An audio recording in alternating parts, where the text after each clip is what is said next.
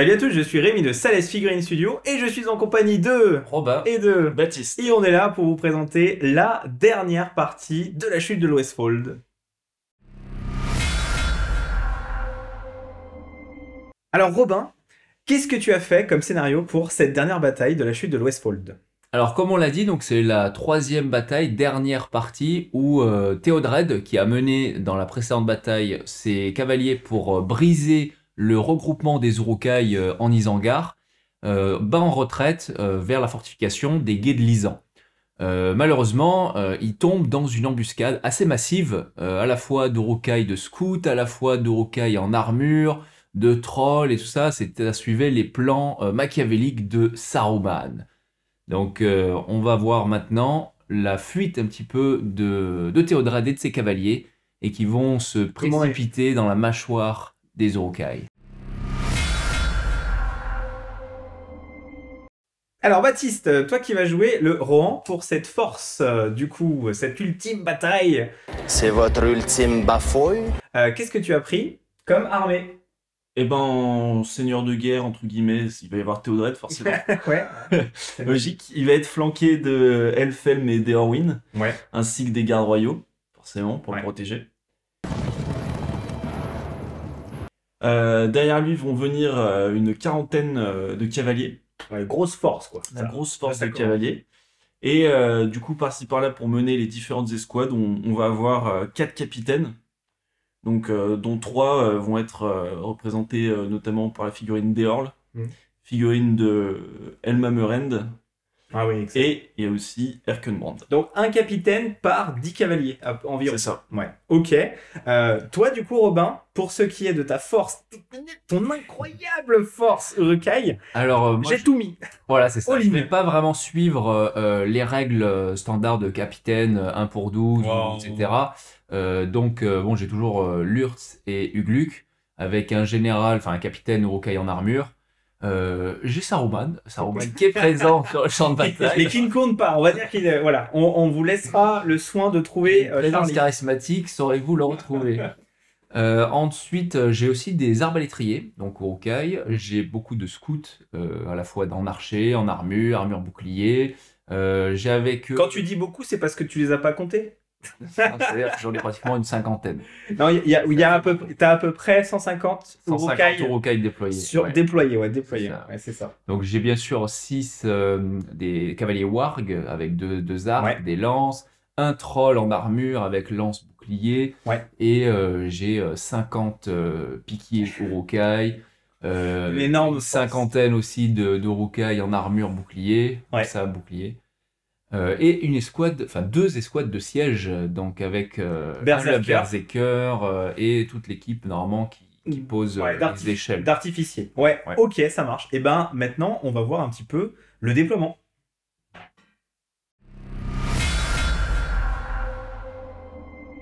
Donc Baptiste, euh, toi, tu te déploies en premier parce qu'en fait, tu es en train de revenir de la bataille précédente. C'est ça, le jeu. Donc, je euh, rentre victorieux. Tu crois que tu as battu les Urukai, tu rentres victorieux. Alors comment tu te déploies sur cette table? Alors, faut savoir que la table, du coup, euh, il y a des falaises de chaque, de part et d'autre euh, dans la table. Donc, moi, en fait, j'ai simplement euh, un goulot, en fait, entre les falaises pour passer. Donc, pour faire une, une image, pour faire un truc visuel, en gros, vous imaginez le, le gros boule de Kardashian. Non, mais c'est pas possible. Mais c'est- ok, bon, ouais, très bien. Et donc, bah, moi, étant donné que je suis à cheval, je peux pas passer par les falaises, donc je suis obligé de passer au milieu. Donc, j'ai ma force victorieuse. Ce qu'on euh, appelle le sif. Cette semaine, j'ai décidé d'aller me faire épiler le cif. Exactement. Et euh, j'ai Théodred du coup qui mène les, mène les troupes, puisque a priori, euh, a priori là, on vient de gagner, il n'y a, pas- Ouais. y a pas de souci, donc tout le monde est détendu. donc euh, ils, ils discutent tranquillement avec à sa droite et à sa gauche euh, Elfelm et, et. Derrière les cavaliers qui vont suivre avec les capitaines dispersés entrent. Ouais. Et donc on, on se doute de rien là. Ouais, t'es un peu en fer de lance, euh, un peu presque bretonien, on dirait, hein, quand même. C'est l'idée. Ok, ça marche. Euh, alors, du coup, Robin, À ce moment-là, à ce moment-là, Quand les cavaliers se précipitent à l'endroit le plus étroit du goulot, eh bien là, une pluie de flèches leur tombe dessus. bon, Des scouts Urukai grimpent sur les fortifications et arrosent les, les cavaliers de leurs flèches. Les arbalétriers encochent leurs carreaux et tirent. Et là, une nuée, une horde massive d'Urukai se met en position pour bloquer le passage. Les cavaliers du rang n'ont plus aucun échappatoire. Ils sont pris au piège. L'embuscade débute.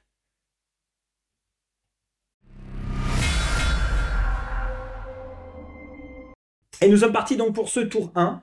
Alors, pour ce tour 1, eh ben, d'entrée de jeu, c'est Baptiste qui devait commencer, mais il se passe quelque chose, Robin. Eh bien, c'est l'embuscade. C'est l'embuscade. Donc, les cavaliers du rang s'engouffrent euh, dans euh, le, le traquenard. Et euh, tout de suite, les Urukai archers qui sont placés en faction euh, sur les remparts ou dans les fortifications libèrent une salve de flèches meurtrières qui fera à peu près 4 ou 5 cavaliers du rang qui seront euh, tués instantanément. Bon, ok, donc d'entrée de jeu, t'as une phase de tir gratuite. Exactement. Et euh, bah voilà, l'embuscade ils commence. pas vu venir, c'était pas mal. L'embuscade commence. Alors Baptiste, qu'est-ce que tu fais? Donc c'est toi qui as le mouvement quand même euh, après cette phase de tir. Donc qu'est-ce que tu vas faire? Là, le but, c'est d'essayer d'enfoncer les, les lignes adverses, euh, histoire de se, se frayer un chemin. Donc j'ai Théodred qui va, qui va mener l'assaut euh, tout droit au centre, euh, au centre des lignes ennemies.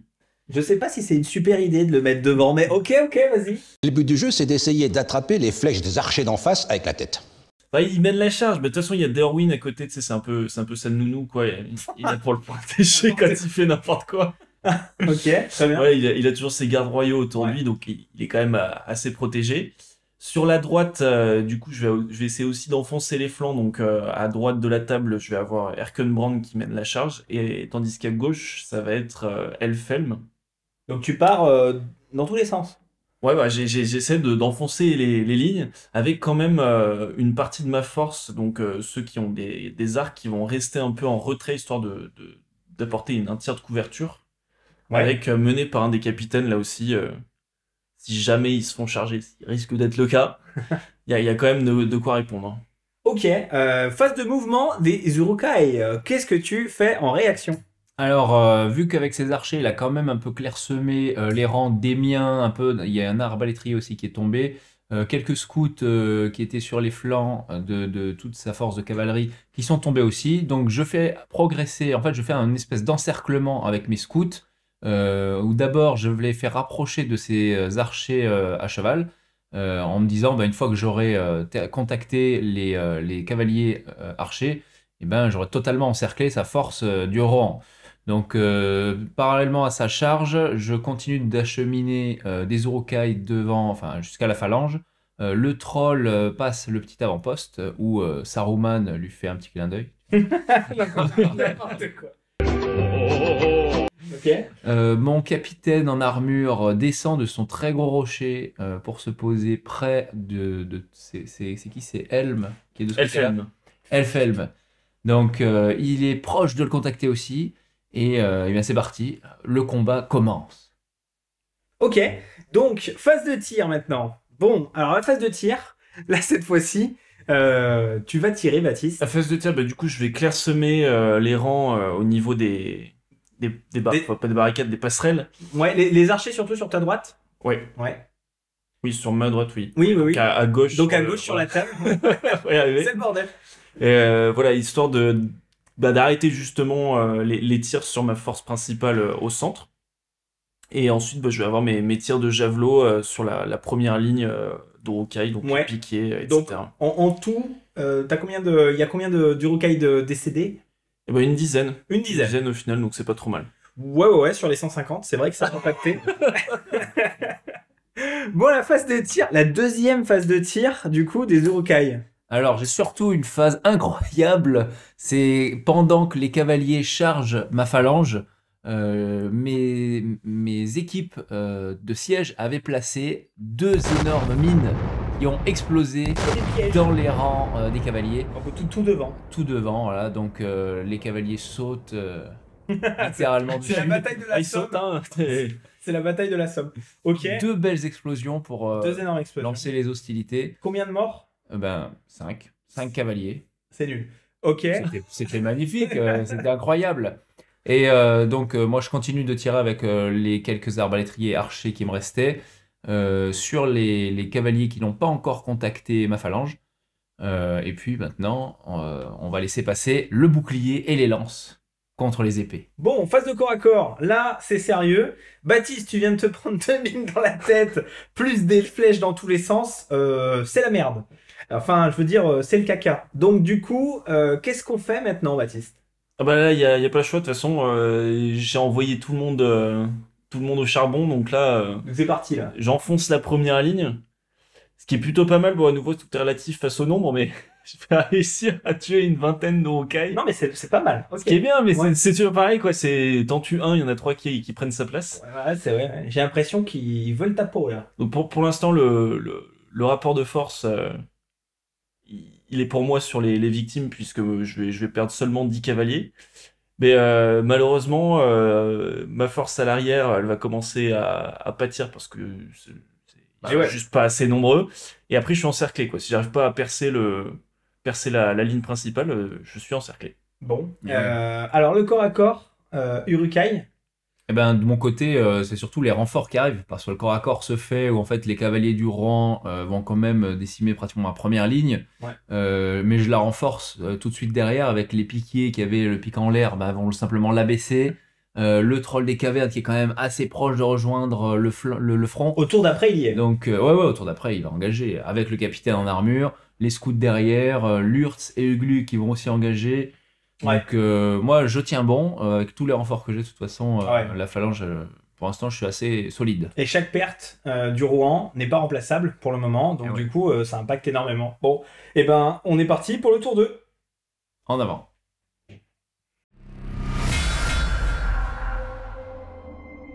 Pour ce tour 2, Baptiste, qu'est-ce que tu as fait, du coup, en réponse au tour 1 Eh ben, je vais poursuivre euh, ma percée. Donc, euh, au centre, euh, j'ai Théodred qui continue à enfoncer les, les lignes. Je vais avoir euh, sur les côtés, euh, bah, j'ai toujours euh, mes capitaines qui vont maintenir, euh, maintenir un peu d'ordre sur le côté pour éviter que je me fasse encercler. Alors, Thé- Théo- Théodred s'enfonce quand même un peu beaucoup chez les Urukai. Hein. En Ah fait, ouais, j'ai laissé, j'ai ouvert les rangs pour le laisser passer, et il fait face à un berserker avec une torche enflammée, tu vois. Il a pas l'air content. C'est dans sa rage, tu vois, il devient aveugle, il oublie qu'il part devant, tu vois, t'as des Darwin, eh oh, attends, attends. Ok. Et, euh, et donc au fond, bah, je, vais, je vais charger les Urukai qui se sont approchés euh, en essayant de chaque d'en côté. débarrasser, histoire de, bah, toujours dans l'optique de ne pas me faire encercler, mais ça, ça commence à devenir compliqué parce que mes forces s'amenuisent. Et, oui, là, et là, tu te scindes en deux. Il y en a une partie qui va à droite, une autre partie qui va à gauche. Euh, tu, crées, tu crées deux colonnes, quoi. On va faire deux groupes de deux. Oui, alors après, ouais, le, le but sera quand même d'essayer de se regrouper, mais euh, ok. s'il reste quelque chose, quoi. Bon, euh, phase de mouvement des Urukai. Robin, qu'est-ce que Alors, tu fais euh, comme je disais tout à l'heure, euh, ma phalange euh, éclaircit un petit peu ses rangs pour laisser passer Théodred s'enfoncer et je referme la phalange. De l'autre côté, juste devant la fortification, euh, les Urukai laissent la place au troll qui vient euh, en première ligne. Donc là, le troll arrive au cac. Voilà, il arrive au cac, maniant son bouclier, sa lance. Euh, juste à côté de lui, un capitaine Urukai qui était descendu tout à l'heure de son premier rocher Ouais. va en contacter les cavaliers. Lurtz et Ugluk, pareil, arrivent en contact avec les cavaliers les plus proches d'eux. Euh, mes scouts qui sont toujours euh, sur les falaises continuent d'arroser euh, les cavaliers qui sont pris Au dans les corps à corps. Et les scouts sinon qui vont contacter les, les archers les cavaliers archers, eh bien, ils vont en plus soutenir les Urukai qui ont été chargés précédemment. Donc pour l'instant, de mon côté, la phalange tient toujours bon. J'ai réussi à isoler les capitaines, à engager avec mes, mes plus gros atouts. Donc maintenant, on va voir Le euh, plan, ce que ça va euh, donner. le plan fonctionne. Bon, euh, en phase de tir, Baptiste, est-ce que tu fais des morts? Eh ben, mes javelots, je vais pouvoir, euh, je vais pouvoir éliminer une petite dizaine de mes, de mes assaillants. Ouais. Et, euh, C'est bien d'avoir javelot illimité, tu sais. Ouais. Ils ont une. et il revient, tu sais, il le rappelle. oui, oui, les... les petites ficelles. Ouais, d'accord. Euh, mais toujours pareil, quoi. C'est, c'est, c'est toujours un bon nombre de morts, mais face à, face à la masse, euh, on a l'impression que. Mais là, ça va, il y Ça a toujours pas de renfort pour le moment. Non, non, Non. Bah, là, euh, en plus, euh, ce qu'il y a, c'est que j'ai, enfin, c'est lui-même qui a chargé avec ses cavaliers archers, il a chargé mes scouts Urukai, donc il a perdu aussi des tirs. Euh, et de mon côté, euh, je lui fais tomber aussi qu'encore pas mal de cavaliers hein, qui sont engagés avec tous mes archers et Ouais. mes arbalétriers aussi. Ok, donc euh, une fois qu'on a fait les tirs, eh ben on passe au corps à corps. Et là, là, bagarre. On va dire bagarre. Alors pour le corps à corps, euh, qu'est-ce qui s'est passé? Alors, à part mes héros qui s'en sortent euh, plutôt honorablement, euh, c'est assez triste, puisqu'en fait, mes, mes cavaliers sont, sont dans un rapport de au moins 3 contre 1.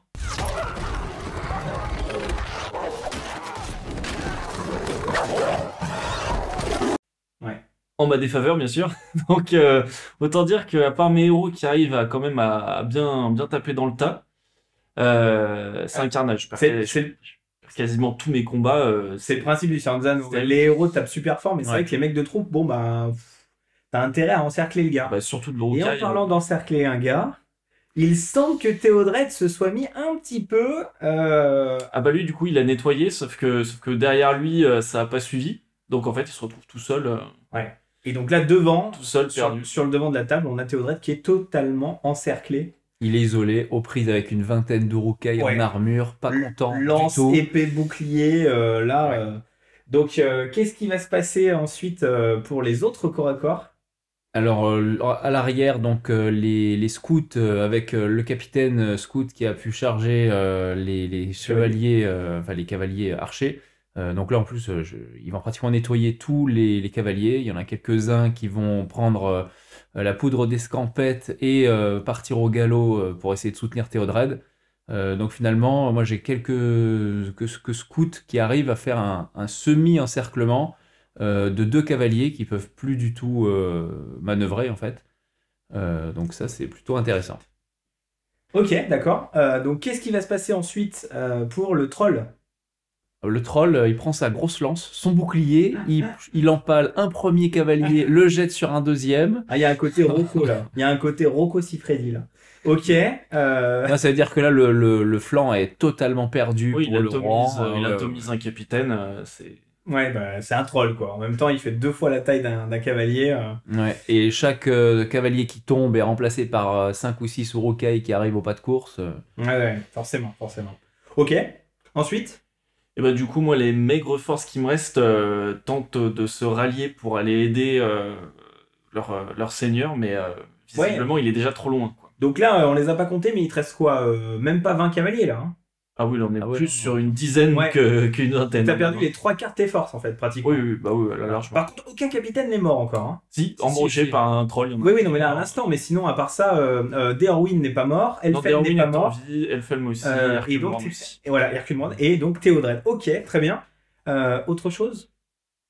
Eh bien, je pense que Théodred euh, va bientôt être mis au sol. Yes. Et ben, c'est ce qu'on verra au tour 3.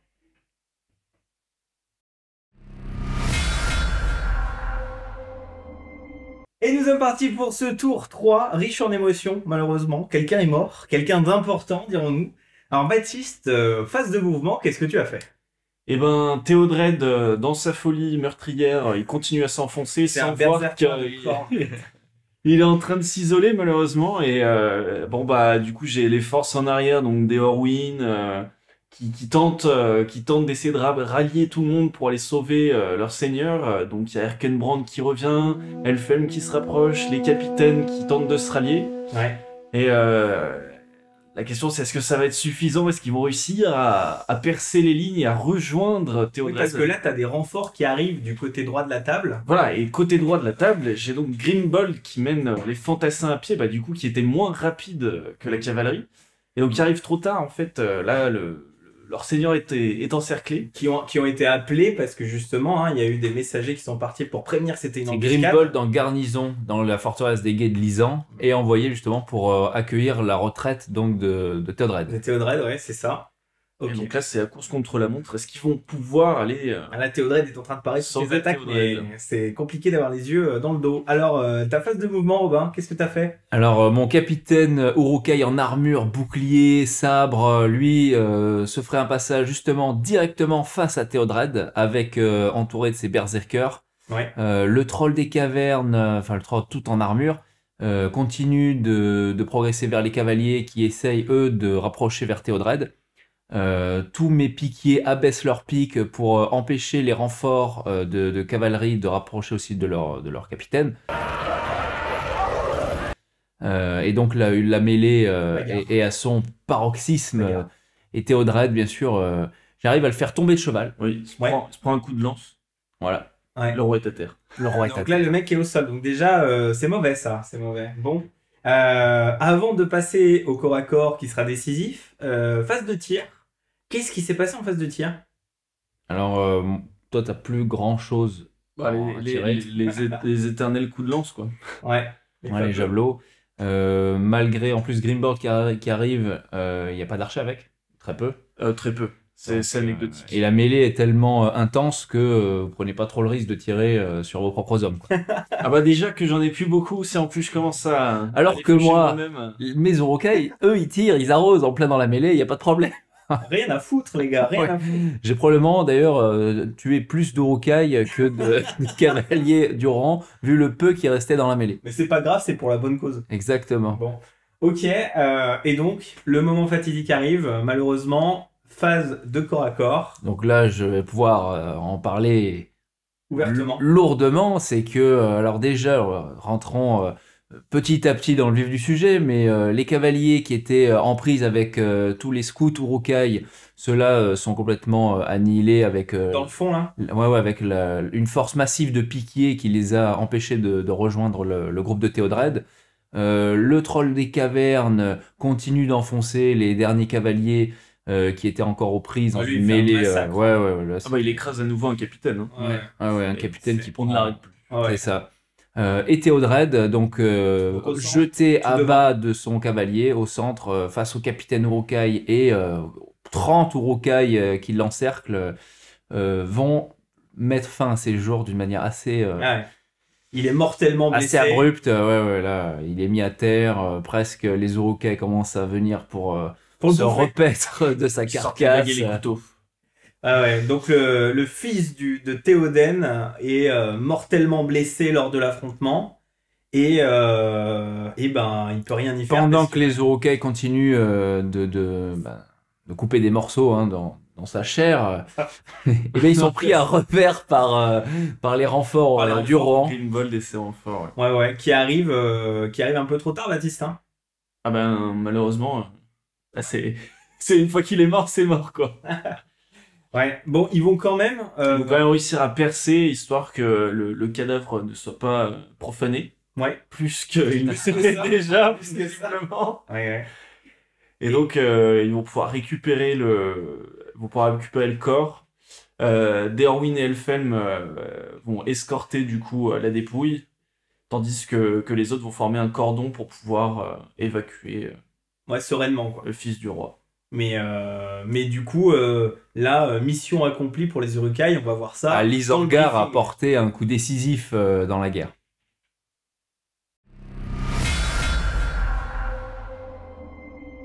Bon, eh bien, nous voilà, messieurs, à la fin de cette première saison de la chute de l'Ouestfall, puisque bien entendu, il y aura peut-être une suite, la reprise de l'Ouestfall, on verra bien.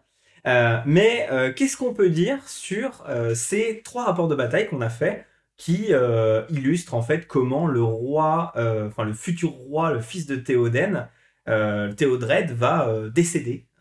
De, non pas de cause naturelle, mais de grands coups dans la tête des forces Urukai. Alors Robin, qu'est-ce que tu peux... que- quel a été pour toi le, le meilleur, le meilleur moment dans, ces trois, dans ces trois rapports de bataille? Alors, sans hésiter, je dirais le, la- le meurtre de Théodred. hein, voilà, la, la dernière partie, c'était quand même le, le pinacle de cette saison. Ouais. Euh, maintenant, ce qui est intéressant dans, dans cette série, c'est qu'au final, ça a toujours été un jeu de va-et-vient entre les Urukai qui vont tenter de faire sortir le- les forces du Rohan de leur forteresse pour les affaiblir, ensuite d'essayer de passer de l'autre côté euh, du guet de Lisan euh, pour les amener à un autre endroit. Tout ça pour regrouper une force solide et au final euh, faire une embuscade. Donc euh, ça, c'est un jeu un peu de, de chat et de la souris entre les, les deux protagonistes euh, qui est hyper intéressant. Et ça se passe vraiment comme ça Ouais, ouais, ouais, exactement. Parce que on rappelle que toi, assez fidèle au t'es l'expert en fluff euh, chez. C'est- ah ouais, mais, euh, mais en tout cas, tu t'es bien documenté pour euh, cette guerre de Lisan, là, c'est, c'est, cette bataille. Ouais, on a essayé d'être euh, assez fidèle voilà, aux protagonistes qui sont présents, ce qui se passe dans, dans le livre, même en tant que surtout en termes de rapport de force. Parce que on c'est pour ça qu'on a pris un peu des libertés par rapport au jeu de figurines du des Anneaux, où on a des capitaines, des officiers avec un certain nombre de, de suivants.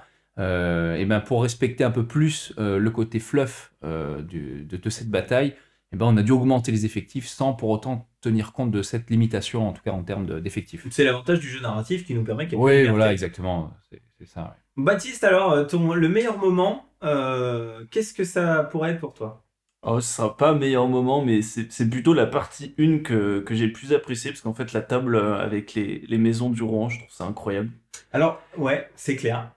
Fran- franchement, des, des trois tables qu'on a, qu'on a vues, c'est celle de, vraiment qui, qui m'a marqué, quoi. C'est les maisons qui étaient en flammes. hein. Oui, les maisons. D'accord, oui, les maisons en flammes, effectivement, c'est j'ai ça. beau- J'ai beaucoup aimé le fait qu'on a passé une semaine à la faire et euh, sur les trois batailles, on l'a utilisé qu'une fois. Ça, c'était chouette. Elle reviendra, elle reviendra, elle reviendra. ouais, c'est vrai. Ouais, ouais. Non, mais c'était pas mal aussi le- la petite euh, tour, euh, tour de défense, voilà, tour Ah de oui. guet avec Faut en faire euh, plus. les archers. Ouais, ouais, ouais. Faut en faire plus. Pour faire des portes fortifiées en fait. Ouais, bon, on sortira quelque chose de, de neuf pour la, pour la saison 2. Ouais, euh, non, alors sinon, mention spéciale, moi je me faisais la réflexion quand je filmais. Euh, à, à quoi on reconnaît C'est quoi la caractéristique d'un Urukai hein? C'est euh, un bouclier, une armure, un, un, un teint un petit peu rougeâtre et puis éventuellement un casque.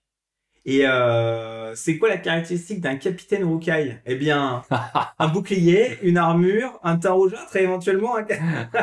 Putain. Non, mais alors, euh, quand on va vous montrer les Urukai dans cette partie, euh, comme euh, on vous les a déjà montrés, des- c'est quand même difficile. C'est dommage que Game n'ait pas fait l'effort de, de, de faire des mecs qui se, qui se démarquent un peu plus. Hein. Alors, il y en a, mais elles sont assez rares les figurines et très difficilement. euh, euh, comment, euh, tu peux pas les avoir quoi. C'est Ouais, pas trop disponible. euh, soit c'est des OOP ou alors euh, c'est compliqué de les avoir. ouais. Yes. Bon, eh ben, je crois que on a fait le tour. Qu'est-ce qu'on peut dire? On peut dire que on a euh, encore une fois euh, tout un tout un thème du mois sur le Patreon qui est euh, sur le Rouen, qui va vous permettre de peindre eh ben, un cavalier, un mec à pied, etc.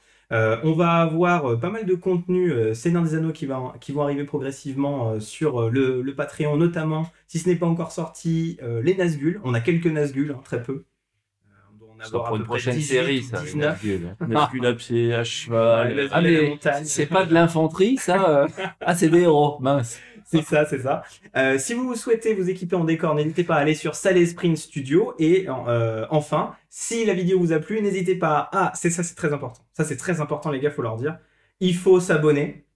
Il faut euh, commenter la vidéo, il faut la partager. C'est hyper important pour le référencement. Alors, s'il vous plaît, faites-le. Abonnez-vous, commentez la vidéo et partagez-la. Et puis, moi, je vous dis au prochain Medal of Color.